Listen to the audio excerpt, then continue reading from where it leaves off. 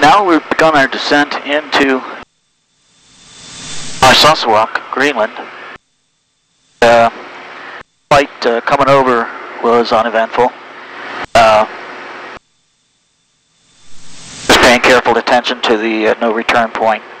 Uh, and things working out. I've got, uh, looking like in the descent now, uh, 44 gallons on board. Uh, uh, 40 actually, if you want to just round it out. 40 gallons on board at the destination. So uh, the weather's clear at uh, uh, NARS today. Uh, it's been overcast all the way over. I've been watching the weather, checking it uh, with the VHF radio at uh, with Gander the whole way. So uh, I'm sure, you know, confident about it. And sure enough, now we're looking right at the fjord that we're going to go over.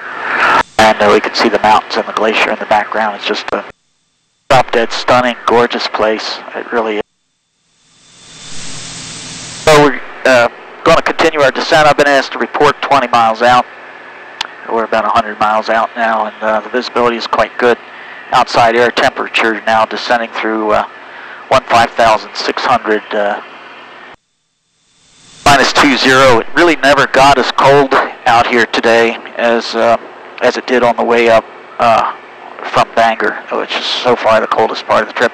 And that's been my experience on this route, uh, it's because of the water. So uh, the little bitty uh, crosswind and little bitty headwind did shear.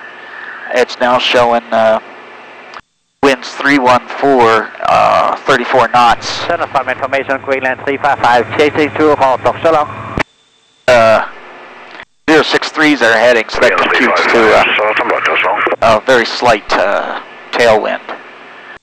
Um, looking like about uh, 15 knots. So I'll take that.